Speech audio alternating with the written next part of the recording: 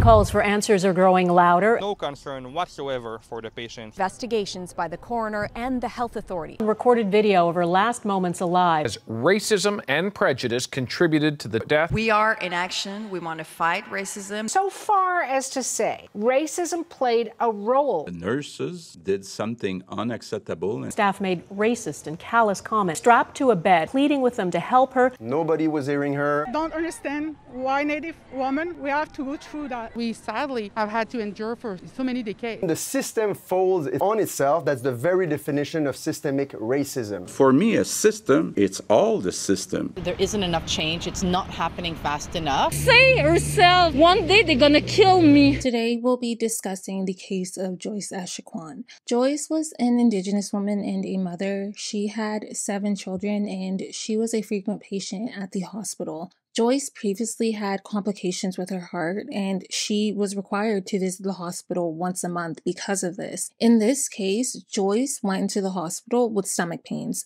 and these pains should have hopefully been treatable with some standard treatment.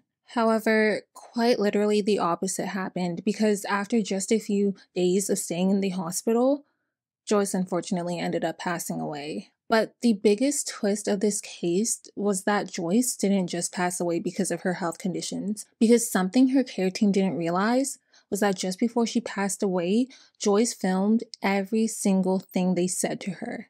And in this video, she captured some of the most disgusting comments I've seen a healthcare provider say to a patient. It's terrifying to think what would have happened had she not filmed that conversation. And what shocked me even more was the response she gotten after all this occurred because it was very evident how the Premier of Quebec felt about the situation. And it seriously just shows the never ending unjust treatment of Indigenous peoples in Canada. But just to introduce myself, if you don't know, my name is Petal Palmer Palmer, and on this channel, I post anything medical mysteries and crime. If that is something that sounds interesting to you, please consider subscribing if you end up liking this video. Alright, let's get into this case. Joyce Echaquan was born on August 28, 1983 to parents Diane and Michael Echaquan in Manawan, Quebec. Manawan is a First Nations reserve and is home to the Atikamekw tribe with a population of approximately 2,000. And of this small population included 37 year old Joyce Echaquan. Joyce was a mother. She was married to a man named Carol Dubé, whom she had seven children with. And during the time of this case, the youngest one was only just a few months old.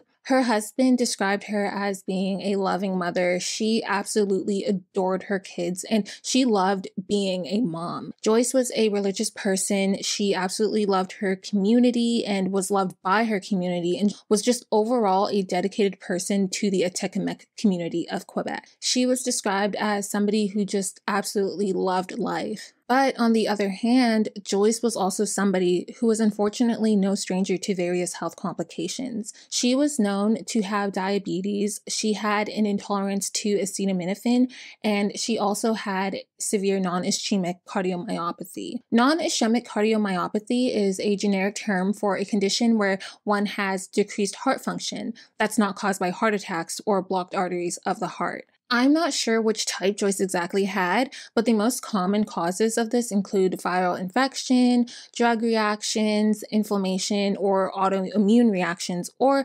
infiltrative processes. And hers was so severe it resulted in heart failure and an ejection fraction between 38 and 10%. For reference, your ejection fraction is the amount of blood that is pumped out of the heart with each heartbeat and a normal value should be at least 50% or higher. So she was definitely on the lower end, and because of this, this required regular monitoring throughout the years, and she had been going in and out of hospitals since 2014. So for six years, she would often find herself in the hospital, and throughout these years, Joyce would grow more and more wary about the staff at the hospital. At some point, she had to start going to the hospital every month, and this was really tough for her. Her cousin described that Joyce would often recount her experience during her stay and would express her concerns that the hospital staff weren't understanding of her, and she shared that she often felt uncomfortable with them. On the afternoon of Saturday, September 26, 2020, Joyce was not feeling good. She was having really bad epigastric pain, which is pain in the upper abdomen just below the ribs. This pain was off and on,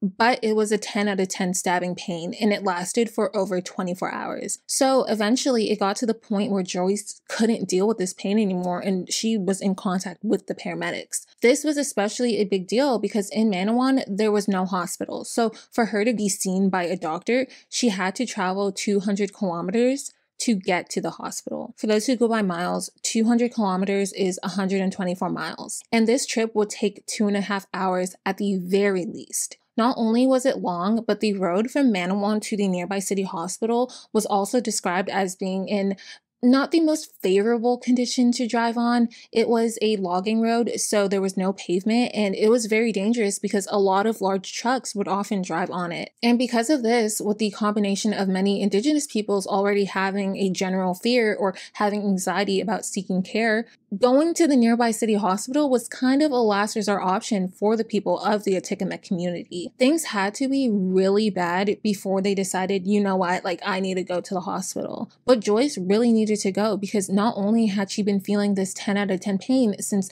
the afternoon before, but she also had been just feeling unwell for the past few weeks leading up to this. Just the month before in August, Joyce had gotten a gastroscopy. And this is a procedure that uses a thin tube with a camera to check the inside of one's throat, their food pipe, and their stomach. But even though this didn't seem to show anything significantly wrong, Joy still didn't feel well later that next month. She described feeling the stomach pain but also having heart palpitations, troubled breathing. She even had nausea and was vomiting after eating some meals. And because of this, she was eating and was hydrating very little throughout those couple weeks. So finally, after the two and a half hour drive from Manawan at about 11 p.m., they arrived at the hospital. And the hospital was called the Centre Hospitalier Régional de Lanaudière which in English is called the Regional Hospital Center of Lanaudière and is also known as Joliette Hospital, located in St. Charles, Borromée, Quebec.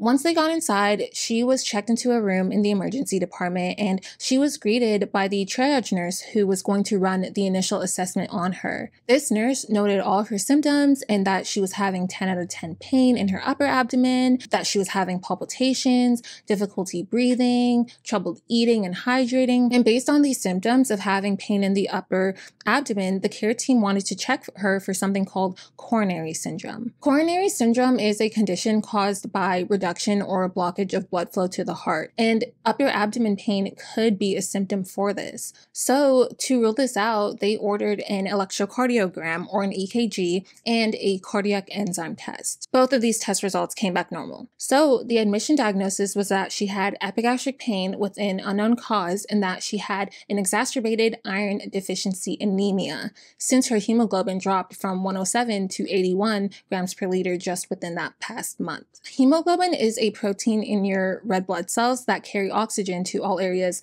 of your body. So a drop in this could indicate that one might be having blood loss. So the team put in a referral to the on-call gastroenterologist. And when the gastroenterologist saw Joyce, they wanted to make sure that the anemia wasn't caused by something big, like, you know, bleeding in the large intestine. So they said, hey, I think we should do a colonoscopy tomorrow just to make sure everything's all good. And so they had Joy stop an anticoagulant she was doing. They adjusted her dose of pain medications. They gave her a bowel preparation and they made sure to monitor her throughout this time. The next day, on Sunday, September 27th, the gastroenterologist came to see Joyce again. And when they entered her room and began talking to her, she allegedly was showing signs of agitation. They mentioned that this could have possibly been due to her going through withdrawal from narcotics and cannabis, but they didn't find any real use of these substances, so they couldn't confirm that might have been the cause of Joyce's symptoms. Joyce reportedly was prescribed morphine for similar pain that she had in August 2019. And during this current stay, the team did give her morphine, but they also gave her acetaminophen, Maxeran, and Ativan, as all of these combined together were hoped to help reduce her pain and nausea and just any symptoms that could have been associated with withdrawal, since that's what they were thinking was causing this. So they actually ended up scheduling the colonoscopy for the next day. And because they now thought that these symptoms might have had something to do with a disorder related to drug use or withdrawal, they ended up contacting a local rehabilitation center called the Joliette Addiction Rehabilitation Center. And they requested if they could have a consultation for Joyce. But after this evaluation, they determined that none of Joyce's symptoms were related to withdrawal. And even though they didn't have a clear diagnosis for Joyce yet, the nursing staff were still viewing and referring to her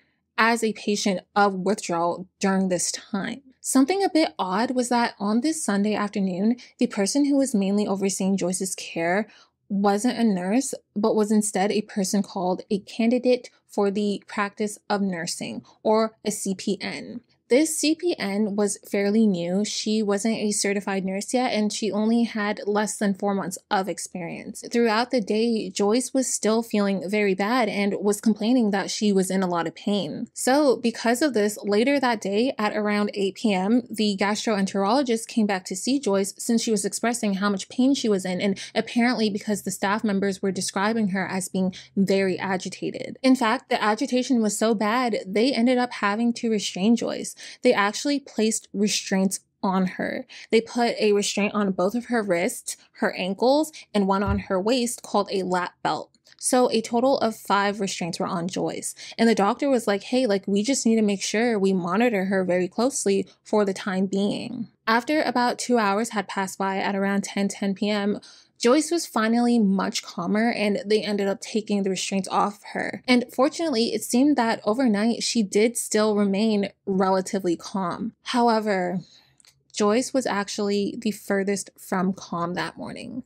She was, in fact, very anxious. So much so, in the early hours of that day, she ended up calling her sister in law, Jemima Dubé, begging if she could come to the hospital and pick her up because she was feeling very scared, which isn't a shock at all because this was also the day where everything went wrong. Because it was only two hours later when Joyce's symptoms got much worse, and this case took a very tragic turn. Sometime during the morning, Joyce ended up speaking with Dr. Jasmine Thanh, who was a family medicine physician working in the emergency department that day and was overseeing Joyce's care. Joyce had asked Dr. Thanh if it would be possible that she could get discharged sometime later that day. And this was described as a cordial conversation, and Joyce seemed fine because Dr. Thanh agreed that she could be discharged later that day. At around 7:40 a.m., she was even talking to another patient who was on a nearby bed. They ended up talking for quite a while, and Joyce even allowed this patient to use her phone to contact her son's school.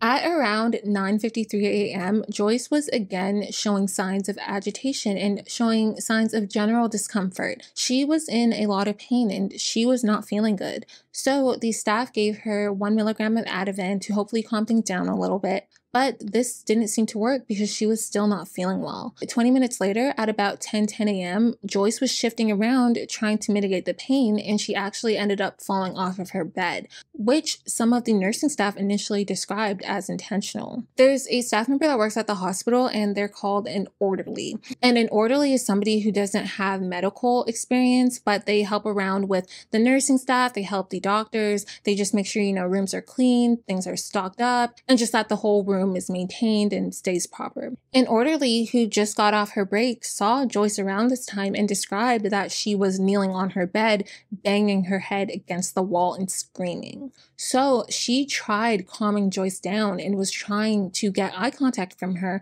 but nothing was working. So, because of this, the staff contacted Dr. Thanh, and Dr. Thanh prescribed a 5 milligram dose of a medication called haloperidol, or Haldol, which is an antipsychotic often used to treat various disorders such as psychosis or schizophrenia. She wanted to use this to see if it could help Joyce calm down. And so they ended up moving her from her initial bed to a private room to separate her from other patients since there was a lot of commotion going on. At around 10:25 a.m., they administered the intramuscular dose of Haldol, and Dr. Thanh said, "Look, if this doesn't work, we're going to have to use the physical restraints again." Now, just a few minutes later, sometime between 10:35 to 10:45 a.m., Joyce must have been feeling very concerned because it was at this point Joyce opened up her phone and went to Facebook to start a live stream, which she ended up recording for a total of 7 minutes and 12 seconds. It's honestly so good that she did because this case would have probably been presented much differently without this information had she not recorded this. Despite it being just 7 minutes and 12 seconds, this recording showed the reality of what Joyce must have been going through during her stay at this hospital. From my understanding, this video has been removed from online and I've only seen clips from news sources. Plus, it was in Canadian French, so I wouldn't be able to understand it anyway. But from coroner Gehane Kamel's report, it described that Joyce was filming herself, which you could also see from the clips that are still out. In the video, Joyce was screaming and moaning in pain, and at some point she was moving around so much she ended up falling off of her bed. After she fell, the staff members picked her back up, placed her on the bed, and they re administered the IV that she had in. And they placed her in a four limb restraint and put the lap belt on her. With all of this movement from being restrained, at some point, Joyce wasn't filming herself, but her phone was down and was still recording. During this video was when a very concerning conversation took place between two staff members. And this conversation was between a nurse named Paule Rocray and an orderly named Miriam LeBlanc. The coroner's report provided a translation from the Quebec Police Force, and in the English version of this report, some things look to be translated a bit strange, but for the most part, you'd get the gist of what it's saying. In the beginning of the video, Joyce was speaking Atikamekw to those who were viewing it online, and she said to them, quote, It hurts me. Carol, come see me. They are overdosing me with drugs. Make it quick. A little over halfway into the recording, at 3 minutes and 59 seconds, Joyce must have fell off her bed at this point because the nurse said, We're going to leave her on the ground for a bit, A. And then at 4 minutes and 21 seconds, the nurse said, We'll look after you. I think you're having a hard time taking care of yourself right now, but we'll do it for you, okay? Now, she also said something like, ST of a thick tabarnouche. I looked up what tabarnouche was and it means fudge. So it's often used when people say something is blank as fudge. So I believe this meant they were calling her thick as fudge, but I could be wrong. Following this, referring to Joyce, the nurse said, This is better off dead. At 5 minutes and 25 seconds, Joyce started moaning very loudly, to which the nurse replied, Are you done messing around? Are you done with that? Piss off.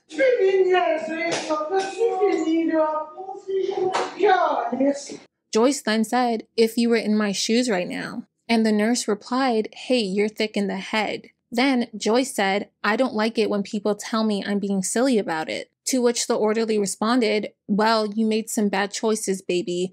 What would your children think seeing you like this? To which Joyce replied, That's why I came yesterday. And the nurse responded, She's good at sleeping around more than anything else. Later, saying, Especially since it's us who pay for it. At some point, the nurse called Joyce stupid as hell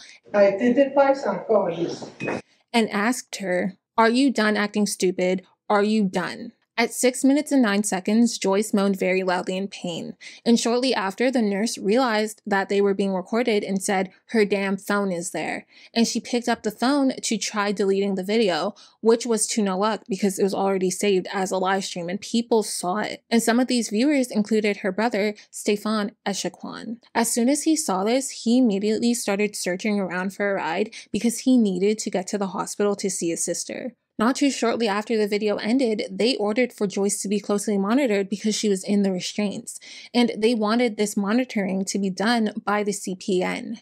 However, this was the first time the CPN ever dealt with a patient in restraints. So she went up to the doctor and asked her, like, hey, like, I've never done this before. Is it okay if somebody else watches Joyce just to be safe? And the doctor told her, like, yeah, that's fine. So the CPN went to the assistant head nurse and told her, hey, like, I need some help watching Joyce. I have a lot of other patients. And the assistant head nurse just told her to go find an orderly herself to do that. And if not, to just figure it out. So the CPN was looking around for an orderly to monitor Joyce. But not only were a lot of staff members on their lunch break, but the hospital was also just really busy at this time. So she couldn't find anybody to closely monitor Joyce at all. And on top of this, she had several other patients who she was responsible for looking over, and many of them required close surveillance as well. It was said that she had nine patients that she was monitoring that day, and several of them required close monitoring. So she definitely had a lot of patients that she was watching, especially for somebody who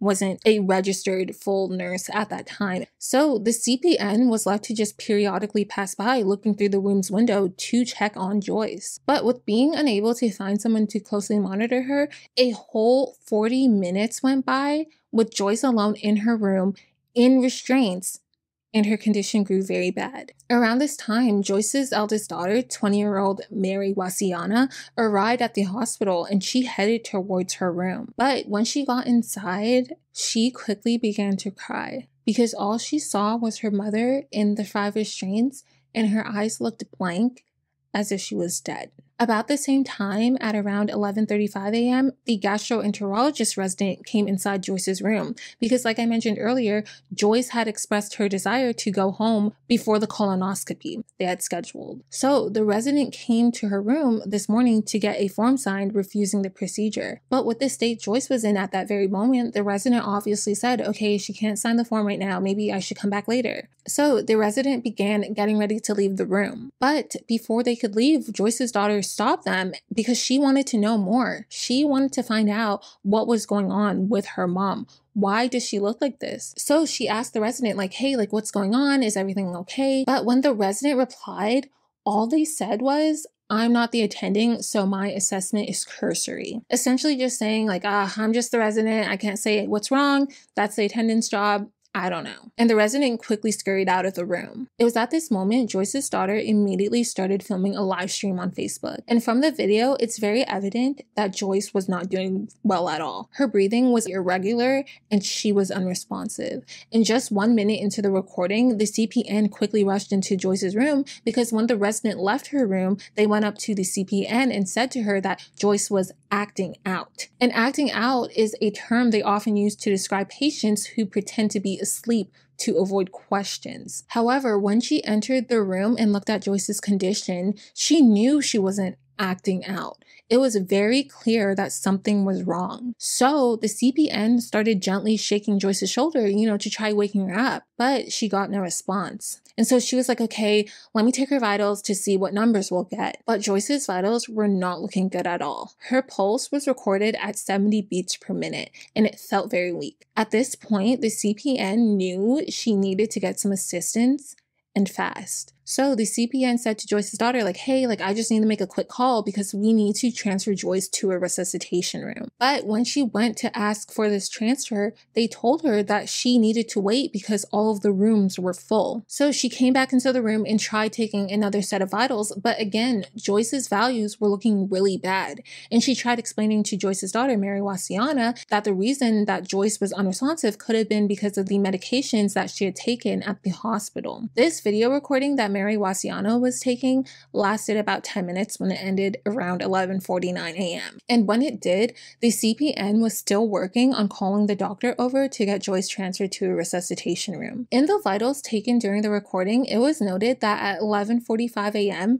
that Joyce's blood pressure registered at 57 over 35. Her heart rate was 77 beats per minute and her oxygen saturation was 90%. For reference, a normal blood pressure should typically be around 120 over 80 and a normal oxygen typically would be between 95 to 100.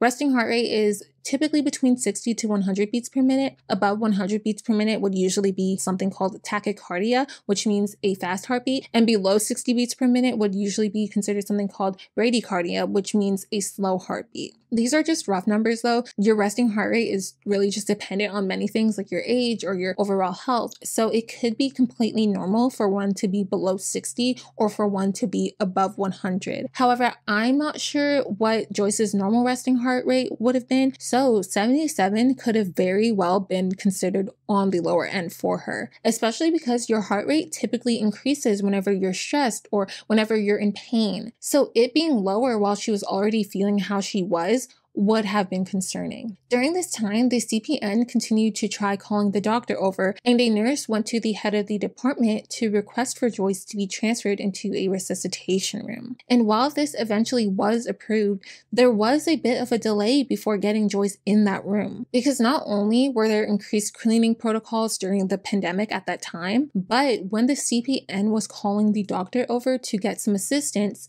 she was not getting a response. She ended up calling the doctor several times, but had no success. And she even ended up going to the central intercom and started urgently requesting for the doctor to come, which was backed up in the hearing as several witnesses heard her calling for medical assistance on the microphone. Because of this, in addition to them saying that all the rooms were full, she decided to just go check the rooms herself, and she ended up finding that there was a bed available, though they still had to wait 10 minutes before this transfer happened. It was finally at around 11:56 a.m. when Joyce was able to be transferred into the resuscitation room. But when she was, her condition was looking very bad. Her breathing was extremely shallow. A normal range would typically be about 12 to 20 breaths per minute. She was only breathing six breaths per minute and she was completely unresponsive. By this point, the doctor was at her bedside and they made sure to remove all four of her limb restraints and her lap belt. And just two minutes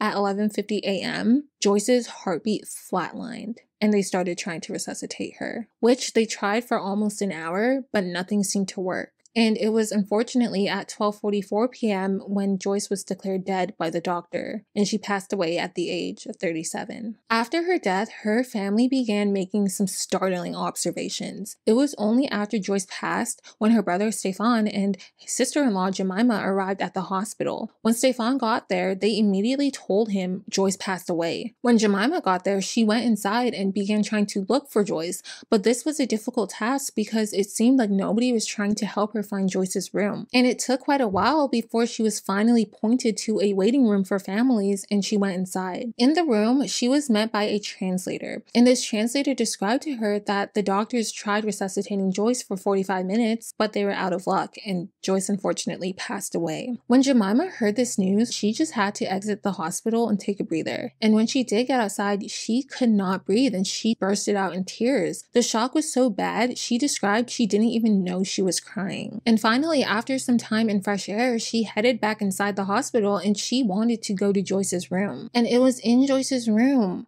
where her and Stefan would both make the same observations about Joyce. Because when both went into her room, the first thing they noticed was that Joyce was laying down in her bed. She had the restraints on her wrists and ankles and her waist, and they said she had bruises. Stefan even took pictures of the bruises, which he later showed to the coroner during this investigation. It wasn't too long after this happened when Joyce's story sparked national and global outrage. Just that next day, on September 29th, the nurse Paule was fired, and just two days later, on October 1st, the orderly Miriam was fired. Around this time, the Premier of Quebec, Francois Legault, condemned the nurse for their behavior, saying the remarks were unacceptable and racist. And he said that thorough investigations would be put in place, one conducted by the regional health authorities and the other conducted by a forensic pathologist. And with these investigations, more information was found out about this case. In fact, more than 44 witnesses described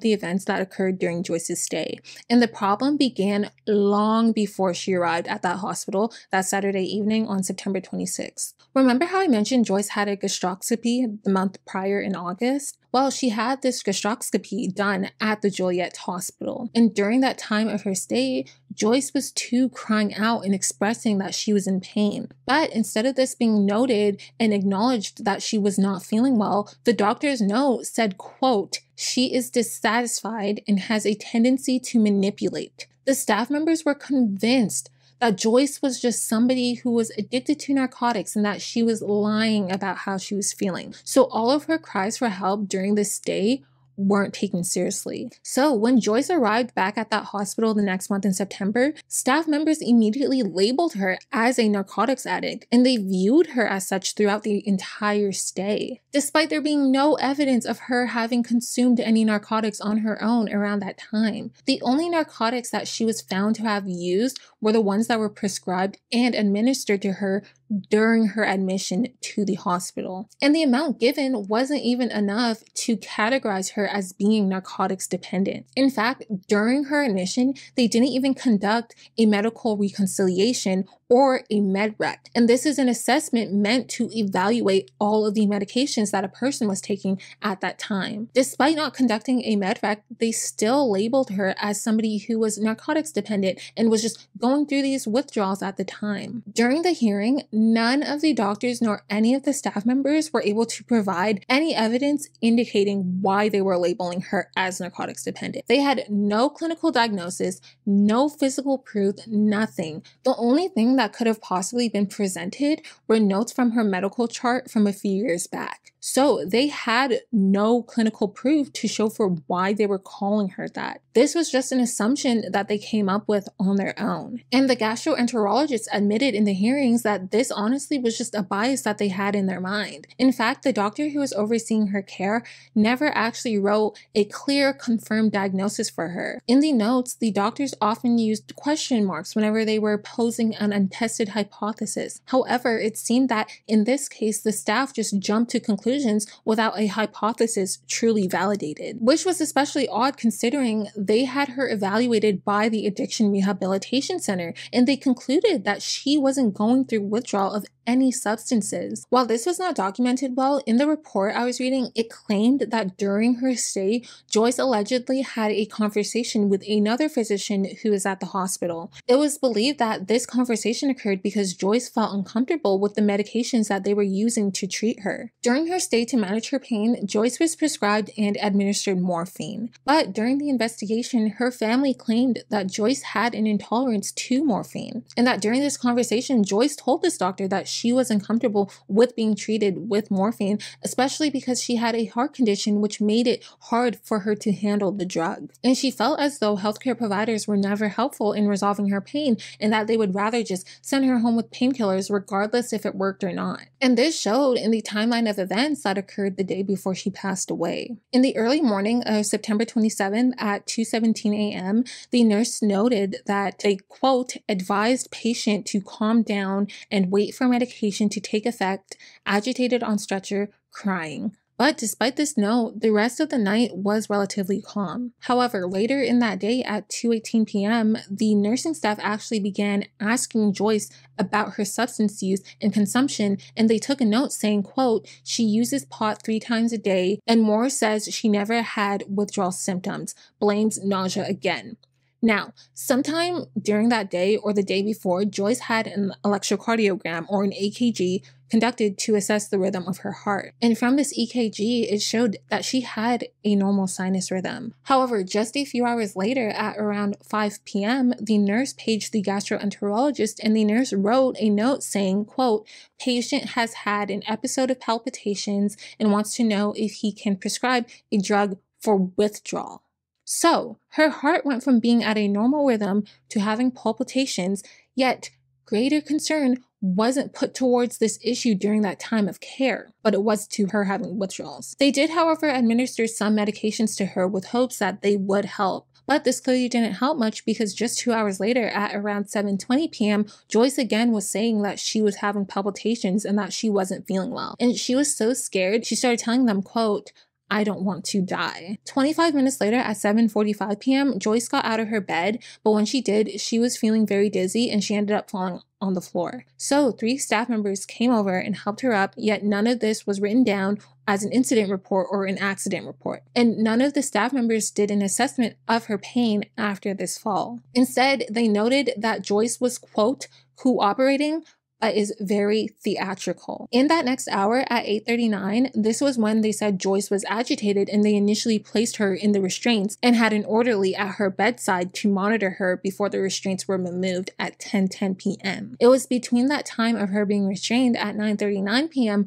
when they started the fluid intake protocol for her colonoscopy that they had planned for her. Now, while doing their assessment, the staff weighed Joyce and they found that she weighed 87.09 kilograms or 192 pounds. However, when they weighed her the next morning on September 28th, her weight registered at 92.2 kilograms or 203 pounds. That means she would have gained 5.2 kilograms or 11 pounds in the span of just a few hours. During the hearing, the doctor in charge of hospitalizations in the family medicine said that this wasn't the true weight change and that this error was due to a reference weight that they recorded the day before, which I guess means they must have actually not taken her weight the day before and that the true weight was the one that they recorded on the 28th. But regardless, it still would be a little strange if they were just using a reference weight and not actually getting the exact one. And on that same day, day, the gastroenterology resident came to see Joyce, and at 8:45 a.m., she also noted again that Joyce was narcotic dependent. And when questioned about this, she said that Joyce's husband Carol was the one who told her this, despite the fact that the resident never even spoke to her husband at all. So essentially, even up until the day of her passing, the staff that was seeing her was still labeling her as narcotic dependent. Now, like I mentioned, on that morning, Joyce allegedly was agitated and restraints were placed on her again. But get this, during the hearing, the doctor in charge said that these restraints were placed on Joyce at her request and that she apparently asked them to place the restraints on her because supposedly, whenever she's in withdrawal, she gets very agitated and starts screaming and doesn't feel like herself anymore. So it's interesting that they claimed she asked for this. I mean, I don't know. I feel especially when somebody is in a lot of pain, it would be extremely odd that they would want to be restrained on top of that, but that's what the doctor claimed happened. So just about an hour later at around 9:50 a.m., Joyce was apparently agitated and started screaming and moaning in pain,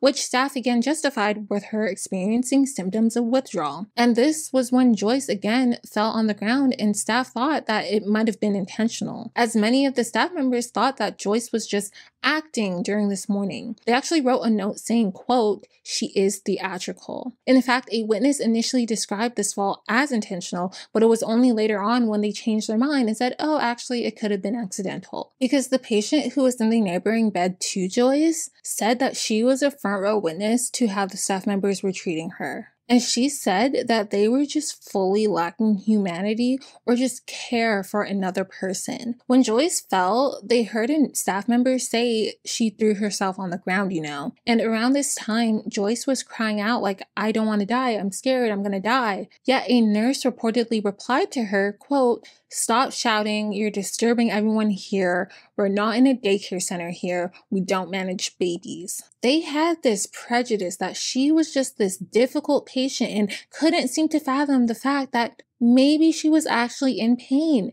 And when people are in pain, how do they react? They might be agitated. They might be moaning. They might be screaming.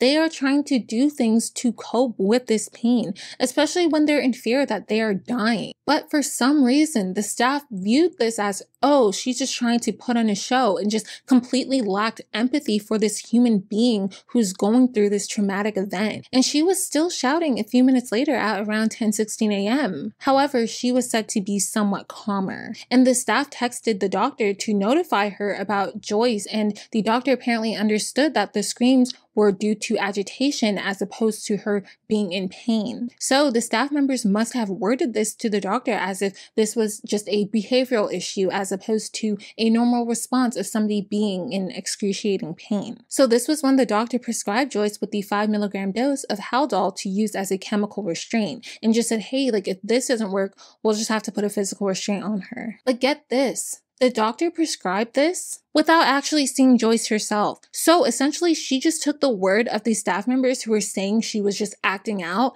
as opposed to actually assessing her and realizing, oh, maybe she is physically going through something and figuring out a way to help deal with that. After this, and just before they transferred Joyce to a new room, Joyce was looking very out of it. She was sitting up in her bed, her legs were crossed, and she was cradling herself. And as she was in this position, she was just repeatedly moving her head up and down, hitting the wall. At this point, she ended up asking them to pass her her cell phone, and they gave it to her. But while she was what they described as calm because she wasn't screaming anymore, her demeanor was still very off and she seemed agitated. There was clearly something physically wrong with her, and the staff was concerned that her behavior was a bit erratic and was worried that it would be scaring the other patients in the area. So, this was when they decided to transfer Joyce into the private room, and this was where they were going to administer her the Haldol injection. It was said that Joyce was actually relatively calm and cooperative with the staff. She even, in fact, helped adjust her clothes so she could get the Haldol injection administered. But something that was interesting was that Joyce's cousin was also a patient who was admitted into the hospital's emergency room and was under observation there at the same time. And while this was all going on, her cousin was hearing Joyce calling out for help and just repeatedly saying her husband Carol's name. So clearly, during the transfer and after, Joyce was still feeling very anxious, and that's when she filmed that video with the nursing staff saying possibly some of the most disgusting comments one could say to a patient, especially one who was literally dying. So, after Nurse Paule picked up the phone, she told one of the orderlies who was working in the area what just happened, and this orderly went to the manager to tell them about this. The manager was actually not initially concerned about the video. It was only after later that evening when she found out about the second video that Joyce's daughter filmed when she thought to actually look into it more. And this was not the first time a complaint from a staff member had been put in about the treatment of patients. A social worker had previously informed her about a time staff members were insulting Joyce as they were apparently calling her and a nurse even previously informed the head of the department about derogatory statements that were made to a family one time. There was a time a Syrian family was in the hospital and they needed an interpreter because they didn't speak much French. But apparently, one of the staff members said something expressing that they did not want to quote, waste too much time with them as they are not from here. No sanctions or investigations came from these statements. Also, like I mentioned earlier, when they were trying to get Joyce transferred to a resuscitation room, there was a bit of trouble getting in contact with the doctor as it took several calls from the CPN before the doctor finally came. However, in the hearing, the doctor said that they actually did start moving towards the room as soon as they got that first call. The only thing is, the evidence showed that the doctor arrived slightly before or even at the same time as the transfer to the resuscitation room. But what it just seems like from reading was that there wasn't too much initial urgency when that first call occurred, and that it was really the initiative of the CPN who took force of getting this transfer conducted as she saw that Joyce was in critical condition. And she was aware that Joyce's chance of survival was diminishing with each minute they waited for this transfer to happen. Once they were in the room, they tried using all the methods they could to revive Joyce, but this was all unfortunately to no avail, and Joyce was pronounced dead shortly after. You would maybe think, or at least hope, that this was where staff would start assessing what just happened and, you know, maybe feeling some type of empathy towards the family. But after Joyce's death was confirmed, many of the witnesses at the hospital actually supposedly overheard some staff members say that they were so relieved that this happened because they now didn't have to deal with this patient being an inconvenience to them anymore. The witnesses said that they overheard the staff say things like, quote, Indian women like to complain about nothing to get stuffed and have children, and it's us who pay for it. At last, she is dead. So, now to talk about everything that was done completely wrong in this case, because it didn't just start with the video, it started long before Joyce even arrived at the hospital. Number one, The fact that Joyce arrived at the emergency room and the first thing staff did was label her as narcotics dependent was just foul. You can't just say somebody is going through withdrawals when you have no clinical diagnosis to back up that claim, especially when you're basing your treatment off of those statements. And especially considering the fact that the assessment that was conducted by the Joliette Addiction Rehabilitation Center showed that she was not dependent on narcotics. This assumption that they had truthfully just showed the clear racial bias and prejudice that they had towards Indigenous peoples. I'm sure this could be true in other countries, but right now, speaking specifically about Canada, because Indigenous peoples are often living in areas that lack resources and education and where there's poverty, they are at greater risk for developing a substance use disorder. And clearly shown in this case, with this greater risk comes with a greater number of people who stereotype Indigenous people with these harmful categories that they're all drug dependent and that she has to be withdrawing on narcotics. Instead of seeing it as this is a human and that this human in front of me is clearly distressed and is in a lot of pain right now. What made this strange was that during the hearing, the nursing staff claimed that they actually had no racial bias in the assumptions they made about Joyce. One even argued that she would have said the same things to a woman on welfare with lots of children. So, yeah, they didn't even want to use the argument you know what? I have these racial biases. They're most certainly wrong. I need to work on ways to not stereotype people anymore. Like, saying this to anyone is wrong point blank, but your argument of not even having any racial bias just shows that you clearly just lack compassion for any human being, period. Then they thought that this was just a good argument to say that saying this to somebody in general was okay. Number two, the hospital's use of restraints was also something that was also very questionable. On January 28, 2019, the hospital adopted a policy on the exceptional application of control measures. This policy assessed when different methods, including restraints, seclusions, and chemical substances, should be used on patients. And it said that these measures should only be considered as a last resort option when treating patients, and that whenever these methods are used, that they are recorded and documented in a form provided. Joyce was both physically restrained with the restraints and Lapel, and she was also chemically restrained with Haldol.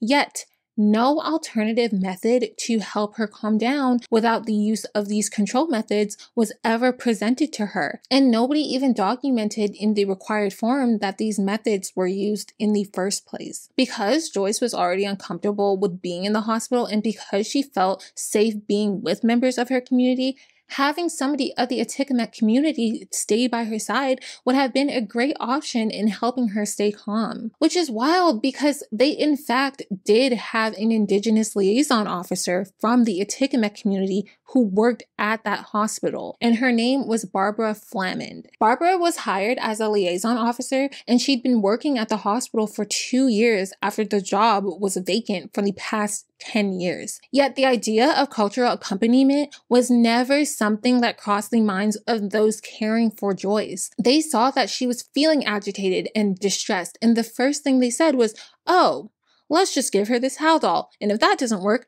let's just restrain her. Instead of maybe the Indigenous liaison officer would be someone who can help her feel calm. In fact, the report said that many employees of the hospital didn't even know there was an Indigenous liaison officer who worked there. But of the employees who did know that, none of them even thought to get her to come to not only Joyce's room, but the hospital failed to integrate her to the space in general. Barbara didn't have her own office. She was never introduced to the staff. The most introduction she got was being shown the desk that she had to share with another employee on her first day and she was even barred from entering the emergency room at times. So for most days, she was really just left wandering through the hallways, and sometimes she even just worked from home, waiting for the hospital to call requesting for her support. On that morning, just before Joyce passed away, Barbara had no idea that there was even an Atikamekw woman in the hospital crying out in pain. It wasn't until Joyce's mother, Diane, frantically called Barbara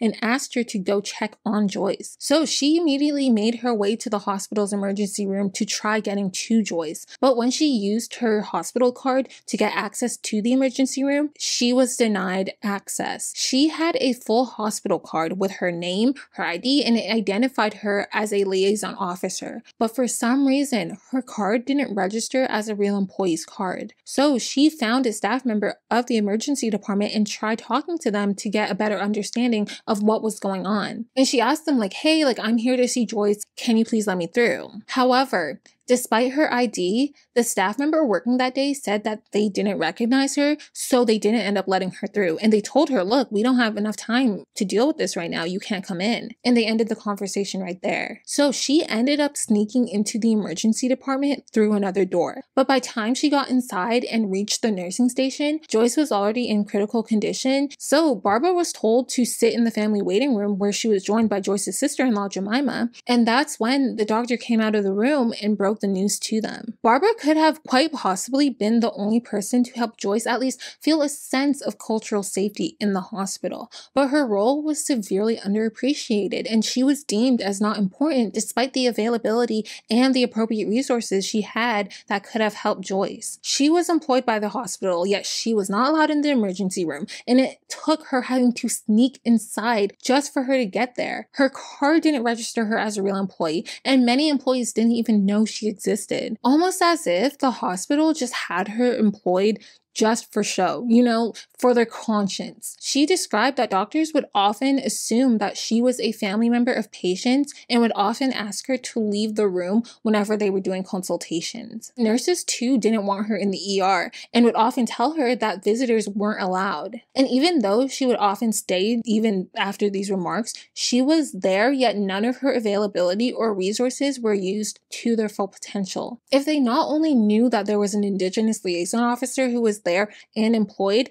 but treated her like she was an employee of the hospital, Joyce's situation could have been rightfully seen in a cultural lens by somebody who was qualified to do so. And this could have helped the team in making the appropriate decisions when it came to the care of Joyce. Which brings me to number three. Not only did they not look at this alternative option, just the mere fact that they used the restraints and used the Haldol, yet didn't properly monitor Joyce afterwards, was also something that was very wrong. Usually, whenever intramuscular injections occur at the hospital, special monitoring isn't required. However, Joyce had her heart condition. So, her being given an injection of this antipsychotic drug on top of being physically restrained did require monitoring just to make sure she reacts just fine to it. Through the investigation, they found that many staff members weren't aware of the restraint protocols that they had in place at the hospital. So on October 9th, the head of the department ended up sending an email to everyone saying, quote, from now on, when you use a four-limb restraint, you must notify the NCA or nursing care assistant. A private service will be requested, and to the extent that it cannot be provided, the patient will have to be transferred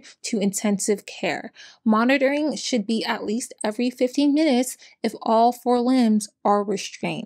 This was essentially a reiteration of the restraint protocols that they already had put in place that many staff members seemed to not know about and did not do for Joyce. And get this, not only was Joyce scarcely monitored after these restraints were placed, but the nurse who administered the Haldol injection to Joyce seemed to not worry about the possible complications to the point where she even left for her lunch break right after the injection. And with the CPN having such little clinical experience, it is possible that she wasn't fully able to understand the risks and complications that could have come with the little monitoring, especially considering she had many other patients to closely monitor as well. The nurse who administered the Haldol injection to Joyce, she had experience and she really should have been the one to know like, hey, we need to make sure we keep our eyes on her because we just gave her a chemical restraint, a physical restraint, and she has a history of heart issues. During the investigation, the CPN was really the only one who truly admitted to their error in keeping record of Joyce's condition at the time. Number four,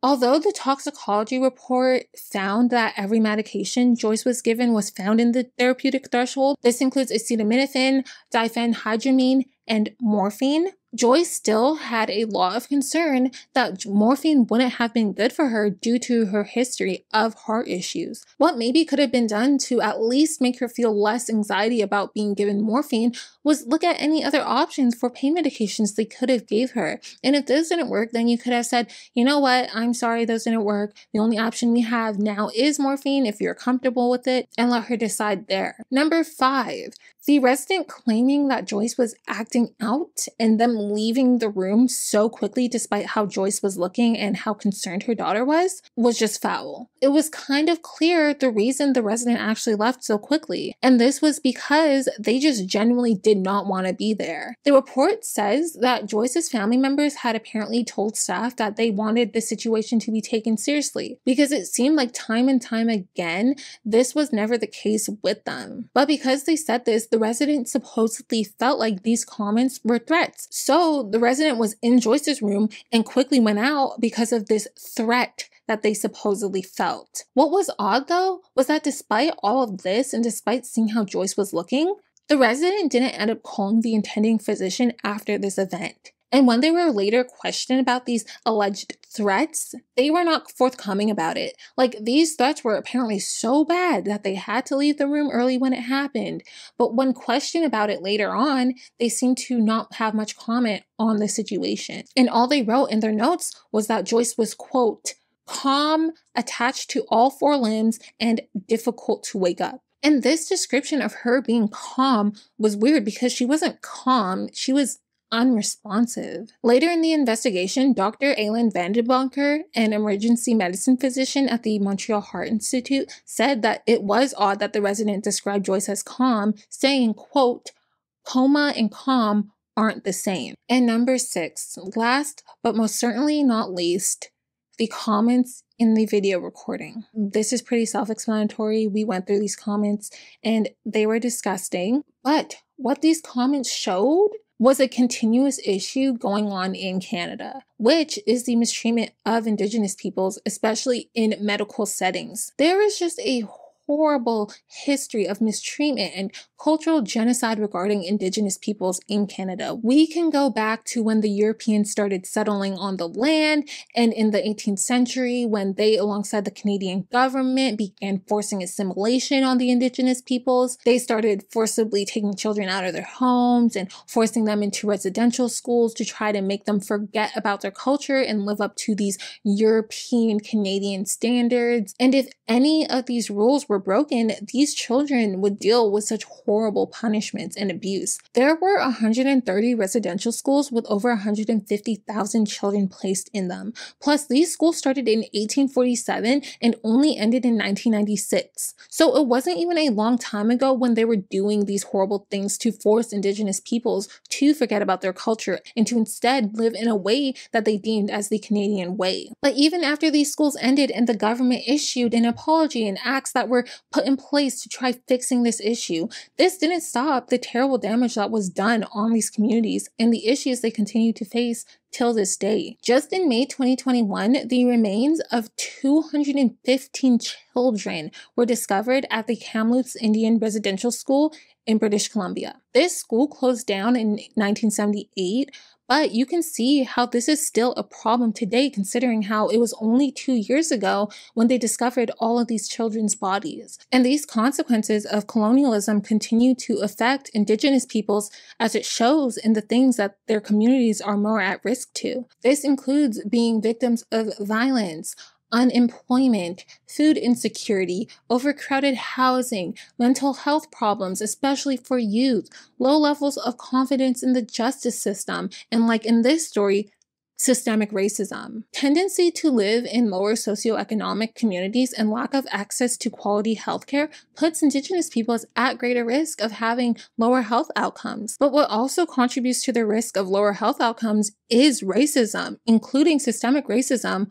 within the healthcare system. Following Joyce's death, the Quebec Premier Francois Legault went on stand and said that there is an issue of racism in the province. However, he said that there is no systemic racism, that people may be racist, but there is no system that is inherently racist in the healthcare field. He also later claimed that the racism issue at the Joliette Hospital is all settled, which is definitely not the case. He later apologized to Joyce's husband Carol after receiving backlash for this comment, but he still maintains his statements that systemic racism doesn't exist in Quebec. And similarly, some witnesses heard from employees at the hospital that they claimed that their work environment was actually free of racism or derogatory comments. Despite the fact that in the past two years before Joyce passed away, there were 20 instances of racism toward the Atikamekw people at the Joliette Hospital reported and this was reported to the Viens Commission into the Treatment of Indigenous Peoples in Quebec's Public Services. So, this case, amongst these many other reports, shows that this is just not true. The healthcare system was not set up in favor of Indigenous peoples, and it continues to show today with how they are often treated as if they don't belong in healthcare settings or as if they're a nuisance who should seek care elsewhere. The health disparities that Indigenous peoples face is rooted in the long history of colonialism which introduced new diseases to them, took away their traditional medicinal practices, put them in places where they lack resources, and continued the growing myth that one's illnesses or health issues are at the fault of themselves. And due to these clear disadvantages and mistreatment, many Indigenous peoples feel as if they don't belong in healthcare settings. So while some staff members claimed that there was no racism in their work environment, many witnesses obviously said, no, there is racism in the hospital, and we've heard clear prejudices against the Atikamekw community while here. I linked some really good sources in the description that go more into depth about the history of racism and healthcare disparities of Indigenous peoples, so I'd recommend checking those out. So, now for the aftermath of this case. All witnesses and staff involved were investigated. These staff members who were caught on camera taunting Joyce lost their job really quickly, in fact. The first was Nurse Paule, who was fired on September 29th, the day after Joyce passed away, and the second was orderly Miriam, who was fired two days later on October 1st. And this story made global headlines. People were protesting, demanding justice for Joyce and for changes to be made in the treatment of Indigenous peoples, not only in the hospitals, but in the country. Some nurses who even worked at the hospital described being upset and devastated after seeing the video and hearing their colleagues saying the things that they said to Joyce. And you would hope most people would feel this way and recognize that there was a lot done wrong in this case. However, there were reports of people being very nasty to Joyce's family after this occurred. Her brother Stefan reported that following Joyce's death, his children were being bullied in school because of it. He said that kids at the school reportedly told one of his children, quote, they will kill you like they did your aunt. And Joyce's eldest daughter, Mary Wasiana, also reported receiving death threats after testifying. During the hearing, the orderly Miriam tried explaining her comments, and she said that her comments were coming from a good heart. On that day, when she walked into Joyce's room, she saw that Joyce was sitting on the bathroom floor, and she was either screaming or moaning in pain. She was the one in the video who said to Joyce, Well, you made some bad choices, baby. What would your children think seeing you like this? Her defense was that she's been taught to try to invoke good reactions in patients. So essentially, everything she was saying to her was not meant to be taken in a condescending or rude way, but she was trying to motivate Joyce to get up and make her feel like she can change her life around, claiming that bringing up her children might, quote, bring her back to reality. And saying the only reason she said that Joyce made some bad choices was because a nurse had told her that Joyce was narcotics dependent. And she fully believed that this was true and that Joyce was going through withdrawals. Likewise, many staff members attributed some contributions to the behavior to being overworked, especially the staff working in the emergency department. It wasn't uncommon for staff members to skip out on breaks and lunches because there was always so much work to do with never the right amount of staff members. In fact, on August 12th, a little over a month before this case happened, an email written by a nurse was forwarded to the head of the department talking about the difficulties the staff had regarding their workload. In this email, the nurse described that the hospital was often so busy that the nurses didn't have enough time to adequately supervise the CPNs. And this showed with the fact that the person mainly overseeing Joyce's care was a CPN with nurses popping in whenever need be. The email continued with the nurse expressing concern that this lack of adequate staff puts the patient's health at risk. And they said that if they have to continue working in these conditions, they don't want to continue their position there. Also, just the mere fact that they had a CPN doing the bulk of the care for Joyce was also something that was not okay because they had a nursing rule adopted in 2018 that stated, quote, CPNs are not authorized to practice in triage, in the shock room, and in the ambulatory section of the emergency department. It was only in 2019 when management decided to bring CPNs back to the emergency department, but it was said that they would do so as long as the CPNs had experienced nurses to rely on for training and support. But what was weird is that they still considered CPNs as nurses in their staff planning. So in reality, they only really brought them back to deal with these staff shortages that they were facing instead of just hiring true registered and experienced nurses, which of course puts patients' health at risk. And we see this in the case of Joyce. The CPN who was overseeing her had only just a bit under four months of experience, had yet to obtain her nursing permit, and at some point that morning had nine patients under her care with several of them being unstable. And when she was requesting help from the assistant head nurse in providing close monitoring to Joyce, the assistant head nurse told the CPN to find an orderly to do it herself, which she had no luck finding. So the CPN just had to do all this monitoring by herself, which would have been difficult for somebody who, one, didn't have the experience with dealing with patients in this kind of situation, and two, had so many other patients that they were seeing that morning. On top of that, the assistant head nurse didn't even once visit Joyce to assess what was going on or to at least provide assistance to the CPN. While there's no doubt that nursing staff were overworked, especially during this time in 2020, I don't see how being overworked would correlate to you treating somebody like this. I don't think being overworked is an excuse to lack compassion, especially in the case of the video that was recorded with all these taunts and insults that were said to Joyce. This was an argument used by Nurse Paule. She burst into tears during her testimony, saying that in all her 33 years of experience, she's never lashed out on a patient like that. And when she listened back to the recording, she couldn't believe the things that she said. She described that on that day after Joyce fell on the floor, she was fed up thinking about all the paperwork she would have to do when filling out an incident report, and that the stress of working in a hospital environment during the pandemic was, quote, the straw that broke the camel's back. And she described that she sees herself as a kind person and asked the family for forgiveness that she just lashed out on that day. She also said that Joyce's race had nothing to do with her reaction, saying, quote, I wasn't angry at her because she was an Atikamekw patient. I was angry at the situation, the workload, and the pressure. She pled guilty to verbal violence and negligence in treatment of a patient, and lawyers from both the prosecution and defense proposed a plea agreement suspending her right to practice for 18 months, with 12 being for the verbal violence and 6 being for the negligence. I'm unsure the status of all this right now, but from what I've last read and understand, it does seem that she is currently fired at the moment. In the end, the coroner's report ruled Joyce's death as accidental, saying in the autopsy that she passed away from pulmonary edema. To be exact, it said Mrs. Joyce Echaquan died as a result of pulmonary edema caused by cardiogenic shock in the context of a diseased heart associated with possibly deleterious effect maneuvers such as the supine restraint without adequate supervision. However, the report also stated the racism and prejudice that Mrs. Echaquan faced was certainly a contributing factor to her death. In court, when coroner Gehane Kamel was asked if she still thinks Joyce would still be alive if she were white, she replied, I think so. The report also listed multiple things that could have reversed the clinical situation. This including increased monitoring, especially by an experienced nurse, a quicker transfer to the resuscitation room, better assessment by the doctor, early recognition of Joyce's conditions, early recognition of her signs and symptoms, a protocol for the early launch of a code blue,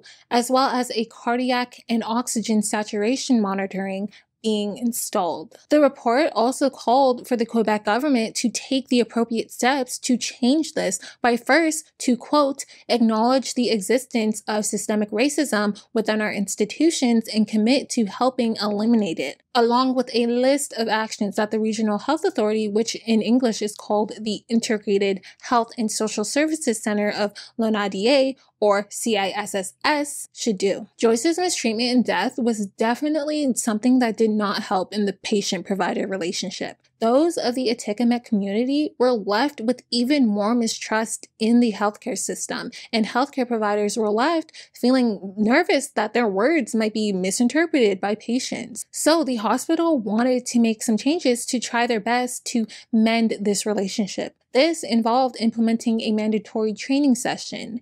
In fact, back in 2019, the hospital did have a training session available to employees, but only five out of their 200 employees showed up to these training sessions. A mere 3%, rounded up, went. A reason for this low turnout could be that one, maybe people didn't want to show up, but two, I'm not sure if they're doing this now, but at the time, they were sending information to their employees through their personal email. So it's possible a lot of the employees just didn't even see these training sessions were taking place. After Joyce's death, the hospital implemented a mandatory three hour training session for employees to hopefully avoid issues like this from happening again. But even though this was mandatory, this didn't really seem to do much because a lot of the employees claimed that they actually didn't really learn much from this training session, and that nothing in particular was really helpful in improving their daily practice. From what I understand, it seemed almost as if the training just viewed racism as a single dimensional thing as opposed to a complex issue rooted in history. So, if they really want to make changes, they should probably work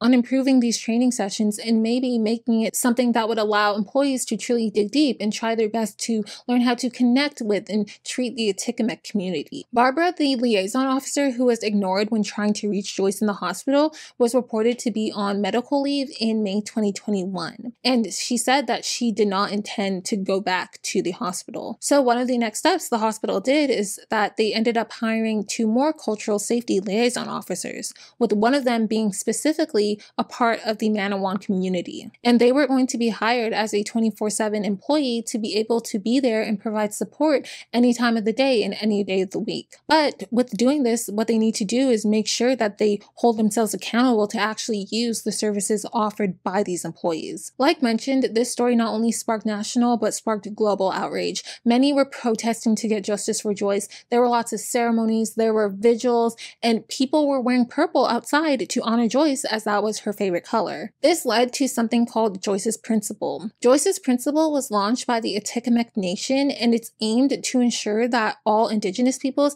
have the right and have equitable access to health and social services without having to face discrimination or having to risk their physical, mental, or emotional health. Stating, Joyce's Principle aims to guarantee to all Indigenous peoples the right of equitable access without any discrimination to all social and health services services, as well as the right to enjoy the best possible physical, mental, emotional, and spiritual health. Joyce's principle requires the recognition and respect of Indigenous peoples' tradition and living knowledge in all aspects of health with a statement from her husband Carol saying to quote, let her voice be the beginning of real change for all indigenous peoples so no one ever again falls victim to systemic racism. Likewise, the Ministry of Health and Social Services, or MHSS, put a plan in place to vow $15 million towards implementing cultural safety practices in all healthcare settings by 2025. This involves a five action plan, including the implementation of continuous training, the accompaniment of the network establishments,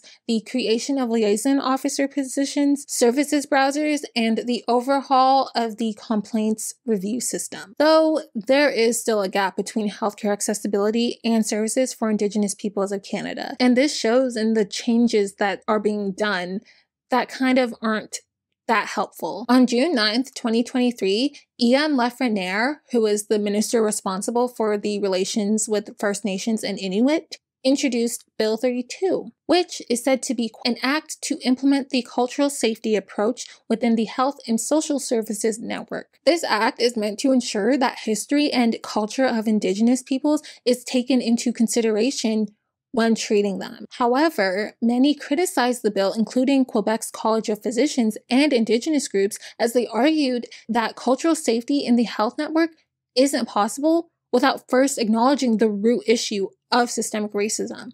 This is a big deal considering that the Quebec Premier and the coalition Avenir Quebec government denies that systemic racism even exists. In fact, on September 12, 2023, the Department of Family Medicine at the University of McGill in Montreal, Quebec, became the first medical education department in Canada to adopt Joyce's principle. The government of Quebec still has yet to adopt it because of their beliefs that systemic racism doesn't exist. So Bill 32 is kind of like if you're not even going to acknowledge that systemic racism exists, how are you going to try to fix the issues? As for those involved directly in this case, just a year before that, on September 29th, 2022, two years after Joyce's death, was when her family filed a $2.7 million civil suit.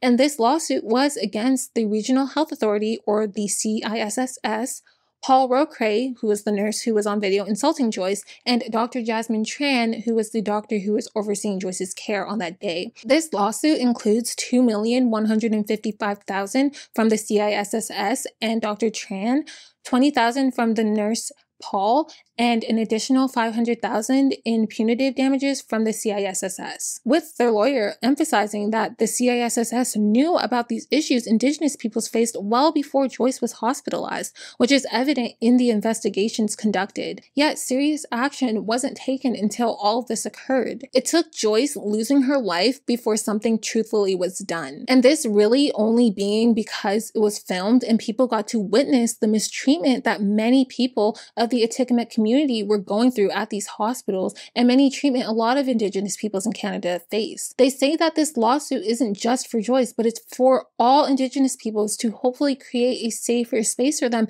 in the healthcare system. Joyce's husband Carol said that this should also hopefully make the necessary changes move faster and further as well. And a bit of a plot twist. On August 16th, 2023, Serge Brault, who is an arbitrator at tribunal, ruled in favor of Miriam LeBlanc, the orderly who was captured on camera telling Joyce she made bad choices and asking what her children would think, saying that she should be reinstated. The arbitrator said that although Miriam's remarks were insulting and inappropriate, she wasn't responsible for the bulk of the mistreatment towards Joyce, saying, quote, the faulty conduct occurred on only one occasion in an emergency and acute crisis situation in over approximately five minutes, and that the orderly's actions couldn't be compared to the insulting, vulgar, racist, and rude remarks and behavior of the nurse who was captured on video. And while he acknowledged that she should have been sanctioned for the comments she made, he criticized the decision to fire her as he said that that was influenced by pressure from the public and media. Pretty much saying, yeah, what she said was inappropriate, but it was a small part of a larger issue of staff members who did or said much worse. As he brought up the point that in the video, Nurse Paule was the one saying the real derogatory things, suggesting things like Joyce would be better off dead. However, Miriam instead was the one saying things like, How would your children feel? In my opinion, I just think at the end of the day, regardless if what you said was worse or not, if you hear another staff member taunting and insulting and degrading a patient, it's your responsibility to either check that colleague or tell your boss about it. Obviously, I haven't seen the full video and I'm just basing this off of what's been described in the reports and news sources, but in none of the sources I've seen have any of the employees said, hey, that's inappropriate, don't say that. It's just the fact that it was filmed, we see what kind of behavior that some people were quite lenient towards. But essentially, they believed that yes, the comments were inappropriate, Yes, she lacked proper professional conduct. And yes, there should be some consequences for those actions, but there was no malicious intent. And Miriam has the potential to change her ways, and it did not warrant the firing. The employer, which is the CISSS, said they were analyzing the decision, but they declined further comment. So I'm unsure about the status of her employment.